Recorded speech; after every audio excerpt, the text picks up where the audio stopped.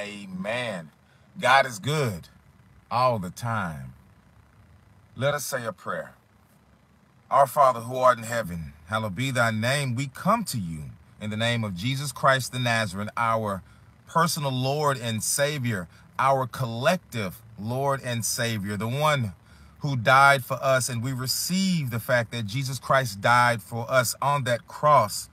We know that Jesus Christ is the Son of God, and we accept Jesus Christ in our hearts as the Savior of this world who rose and died for all of our sins. Yes, indeed.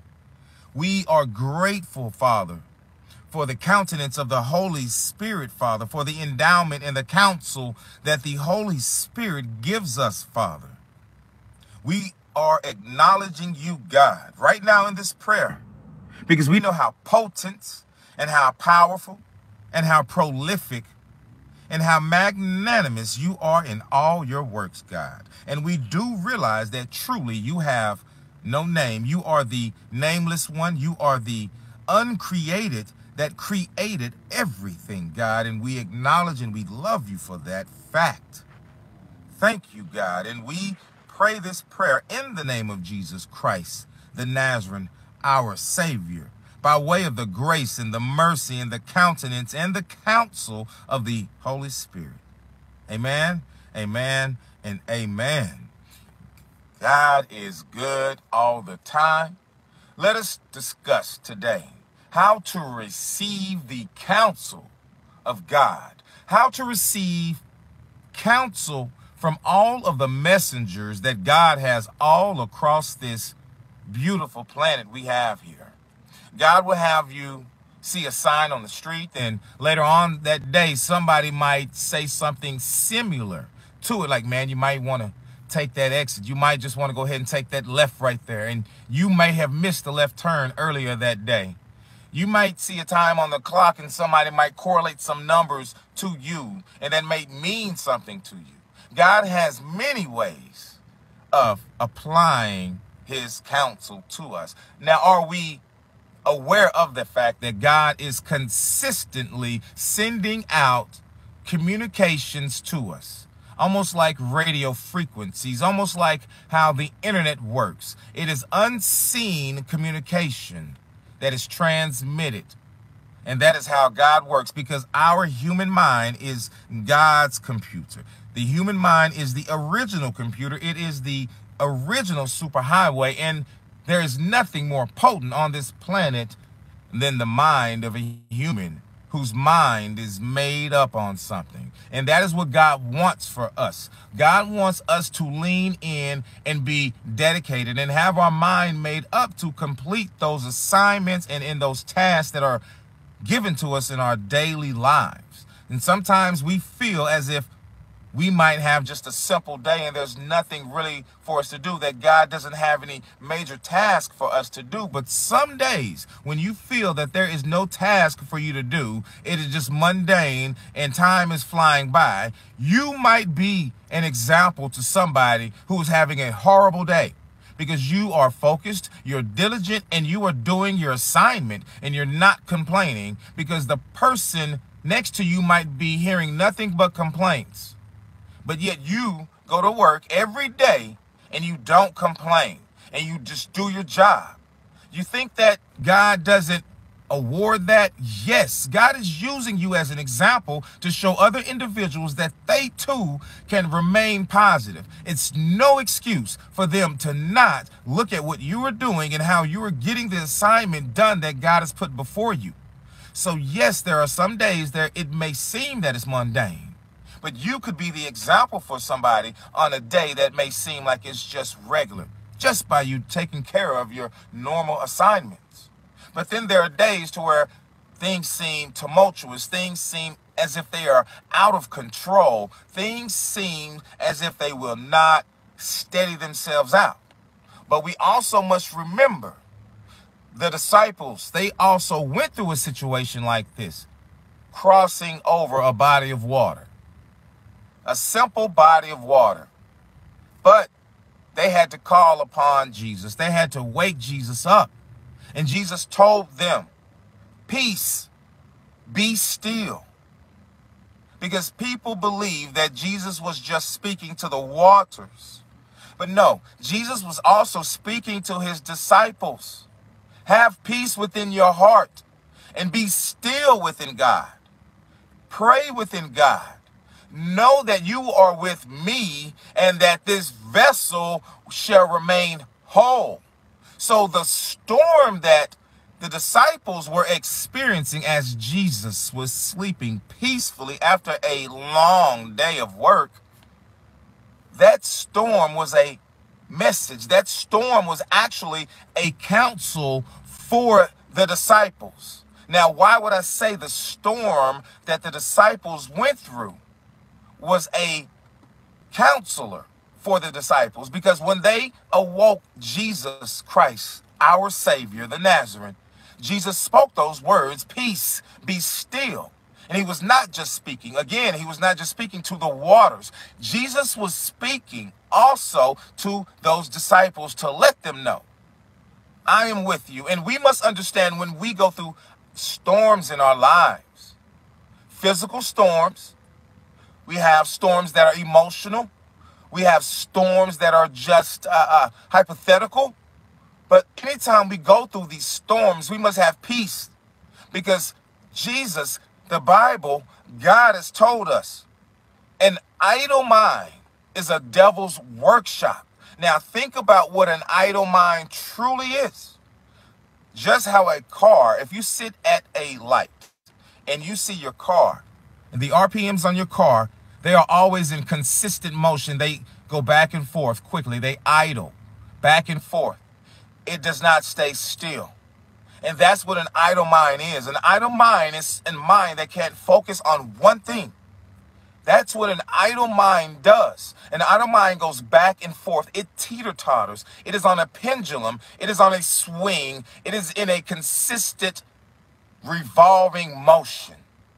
But when you are focused in on God, that is all you see is God. So you are able to understand that, yes, I am going through a storm. Yes, I am going through a situation that is causing anxiety in my life.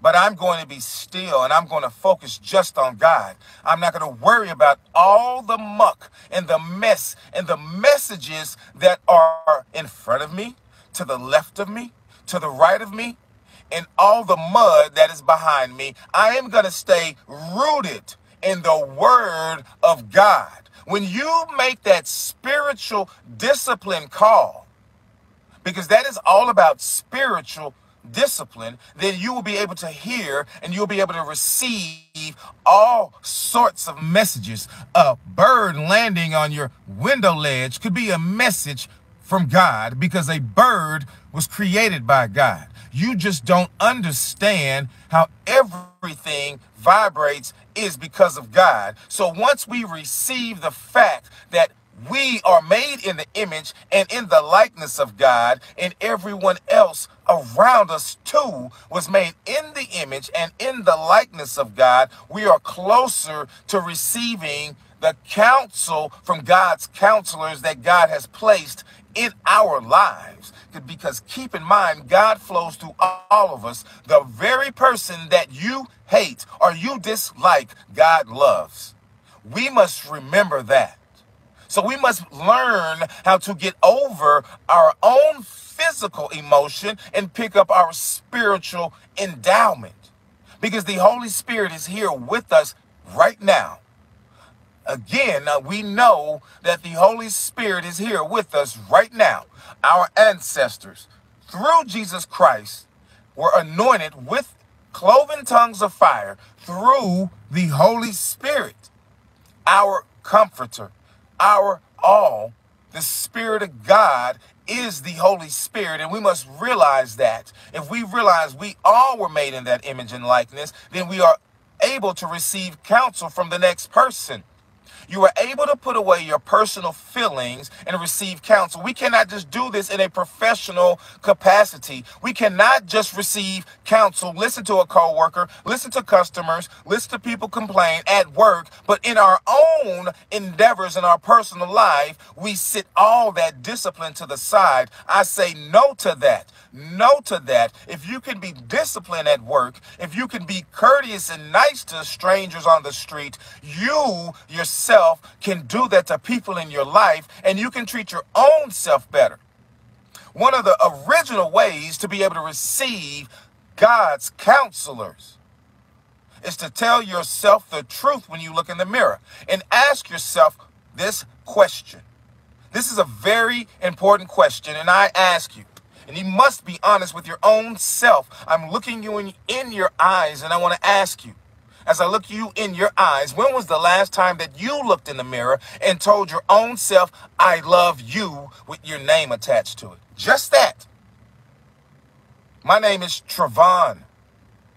So I look in the mirror and I tell myself, I love you, Travon. When was the last time you've done that? Just that. When I ask people that question in person, they have to think about it. And a lot of the replies I get is I've actually never said that. And some people say, I, I say it, I, I do that.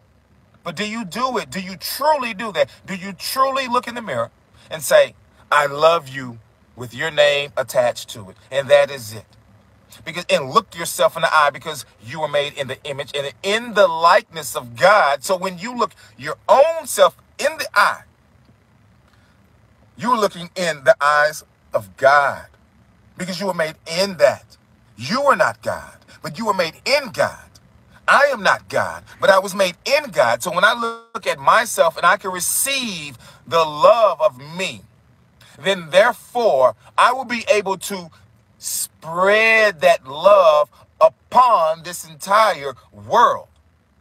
That is the catch. And I'll be able to receive counsel and love from other individuals. There are billions of people on this earth. But yet, in theory, if you have one good friend for your entire life, you've done something well. But there are billions of people on this planet. And what does that say? That says we need to learn how to reach out to each other more. And this is one of the ways. This is God's outlet. This is God's account. This is God's center. Social media. We, as God's people, the children of God, the followers of Jesus Christ the Nazarene, we who listen to the Holy Spirit must step up and we must go out and spread the word of God because if thine be lifted up, we should draw all men unto God. So we must lift up God. We must lift up the word of God because the ones that can provide that counsel, are you doing it? Are you speaking out and are you speaking up? Not just where you are, are you bold enough to vocalize yourself if God has given you the capacity to speak? If you cannot speak and God has given you sign language, are you bold enough to utilize that and speak and spread the word of God?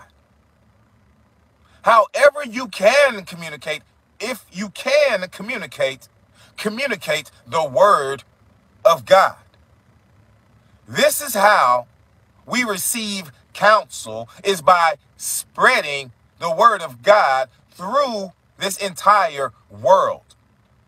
Not spreading our word that we speak of God, but God's word is what we want to spread, is what we desire to spread.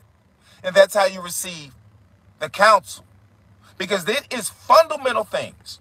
It is not anything that is out of the ordinary.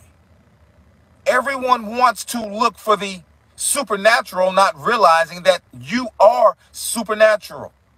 We are made up of everything that is within this universe, not just the globe, not just the planet Earth, but the universe. There is gold in our bodies. But yet we love to wear gold, but we're made up of gold. We are made up of silver, zinc, iron, platinum. We are made up of these materials, of these matters. So once we realize that God has placed all of these matters within inside of us, then we can receive the counsel of God.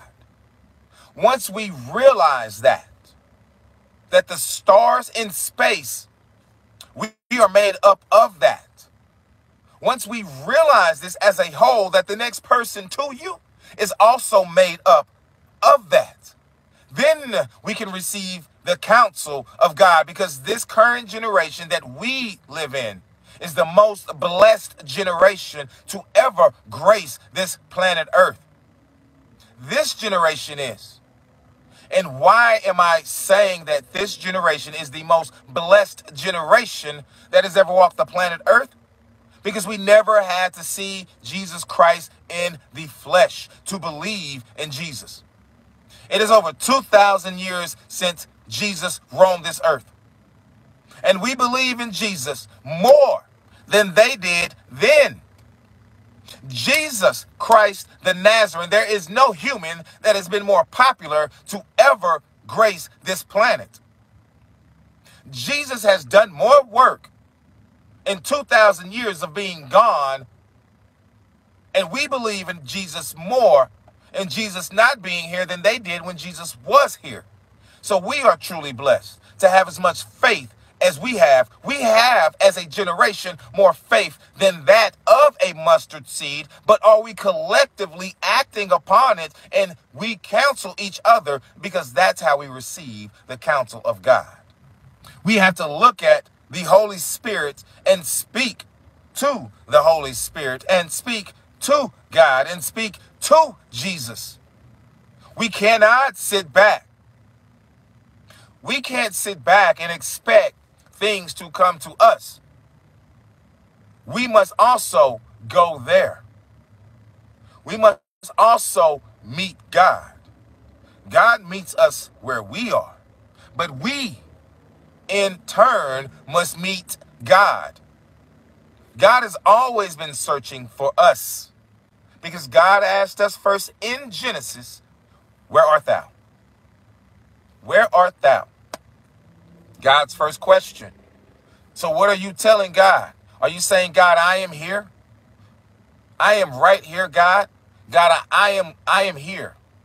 I'm located here. God will meet you where you are and God will provide the answers and God will give you the counsel that you need. God will give you all sorts of counsel in your life. God will protect you. God will advise you as far as what steps you need to take and how to take those steps and when to take those steps. Not just why you need to take the steps, because the why is the easiest part to figure out. Everyone loves to say, What is your why? What is your why? What is your why? But to be honest with you, your why is not going to help your strategy. Your how. That is your strategy. Your when is your timing. Your where is your location. And if you put all that in your GPS, it adds up to God's placement and strategy. GPS. That is what it is. So we must allow God to operate through us and place us where we need to be so we can receive the counseling of God.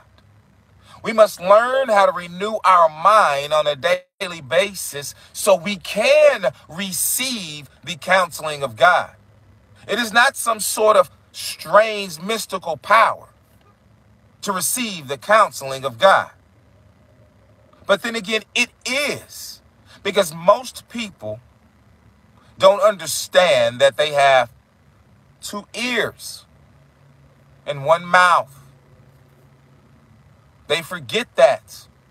So if you are willing to listen and process into your brain, which has two halves. You only have one mouth, one tongue, and two lips that are part of your speaking process with your vocal cords. But you have two halves of the brain and two ears, and we must utilize that which is unseen, which is our brain, so that we may act out in accordance to the counsel that we receive from God. Ask God. Speak to God directly. Ask God for whatever it is. And God will grant the desires of your heart. God will never leave you short. God will never leave you hanging. No. He did not leave Jesus hanging on the cross. That was Jesus' assignment. That was his task. And we must know what our task is in our lives. And our task is to be relentlessly relentless in the pursuit of the kingdom of God. Our task is to perform God's will on this earth as it is in heaven. Because if you go to the Lord's Prayer, that is essentially telling us what it is we must do. Thy will must be done, and it must be done on earth as it is in heaven. That is what Jesus Christ, the Nazarene, our Lord of hosts, was telling us during that prayer. Learn how to decipher the words that are in the Bible that Jesus spoke. And even though they have placed it in red writing, that is not all the words Jesus spoke. There are plenty of words that Jesus spoke that aren't in the Bible. And even though those words that Jesus spoke in the Bible have been placed there you by another human, you still cannot touch them because they are that powerful. And God knows what God is doing, and God knows what the man is going to do. And you seek out God further than you will find. And you'll be able to receive a different level of counseling. Because whether you want to believe it or not, there are people with faith greater than that of a mustard seed, not because they say so, because God has placed it in them. So you must understand and not think that you are better than I, Trevon, am better than you. I cannot live like that. I must see that I have struggled my life and that I am not better than you, that I am equal to you, that I can learn from you. We must look at each other as humans and just that God's race, the human race, one race, because that's what we are. I am not part of a black race. I am part of the human race. Yes, I understand in America and in all across this world, we break da- things down into races and genders, things of that magnitude. But when someone speaks to me and asks me what I am, I say I'm human. I am God's creation. I am God's child, and so are you. That's what I am. To the entire world, be blessed and stay phenomenal. Let us say a prayer because I still have to go about my day. You know what I do for a living now? You should. If you don't, I am a chef. I cook for many people around the Metroplex where I reside. And it is such a blessing to be a chef and to cook for people. And most of my clients, they are of the senior culture. So to be able to cook for people's mothers, their fathers, their aunts, their uncles, their grandmothers, their great grandmothers, their grandfathers, great grandfathers, to be able to cook for people and see them thrive and go beyond a hundred years, that's a blessing to know that Jesus fed the masses. Okay, before I go, I'll get off topic a little bit. I know Jesus fed the masses. So when I was a kid and I heard Pastor Mac T. Fleming at Freedom Missionary Baptist Church in Oak Cliff, Dallas, Texas.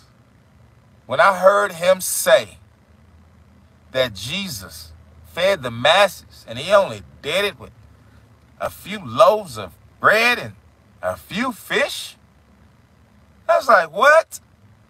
I remember that. I was about 10. And I just couldn't believe it. How did Jesus do that? I just couldn't. And he did it more than one time. It's like, wow. Hmm. So when I heard Pastor say that, I had to talk to my Sunday school teacher at the time, Sister Seamster. Such a beautiful woman in character, spirit.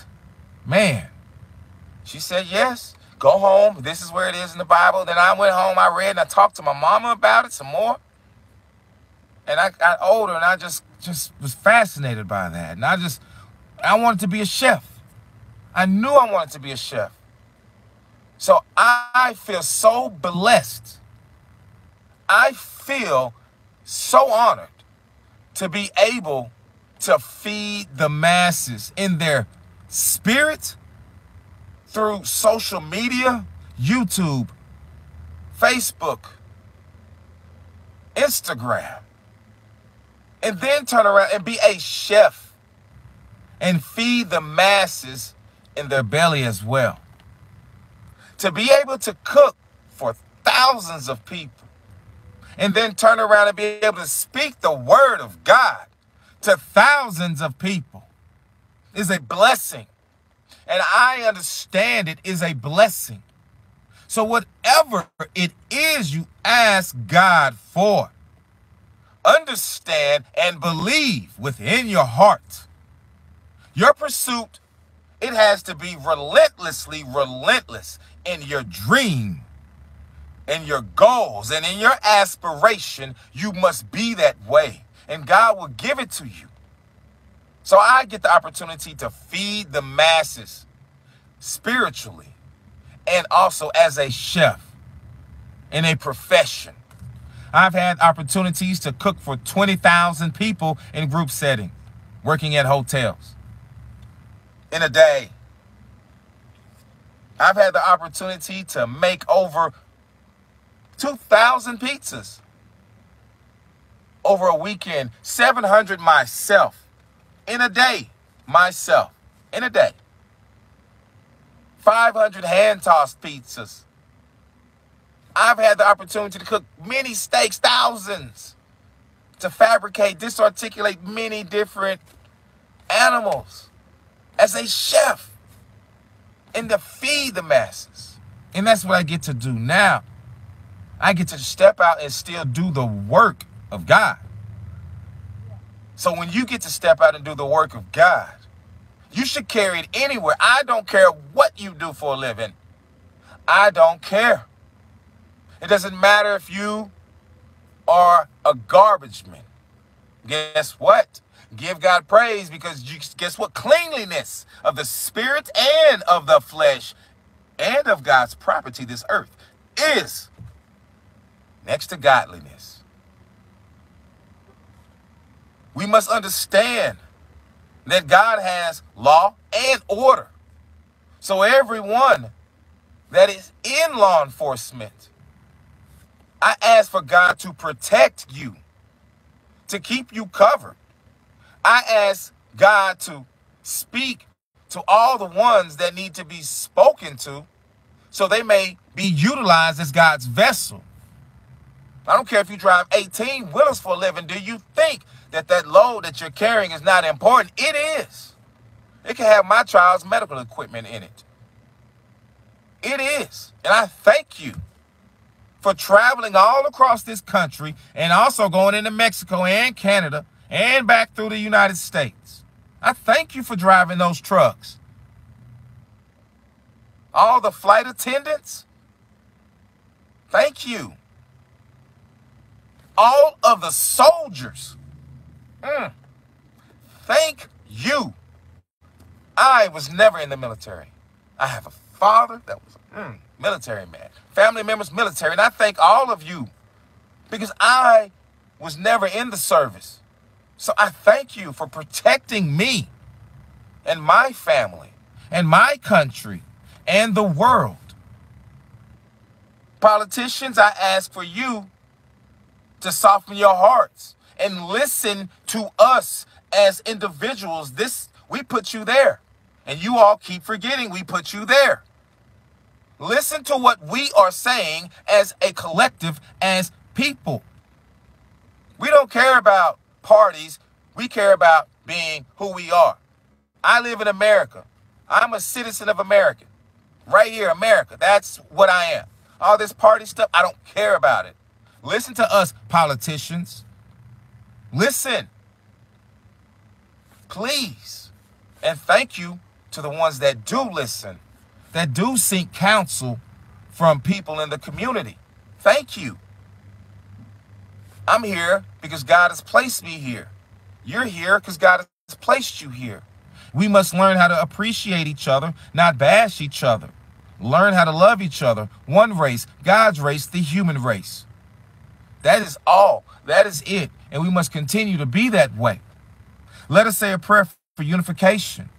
Our Father who art in heaven, we come to you in the name of Jesus Christ the Nazarene by way of grace, mercy, and the power of the Holy Spirit.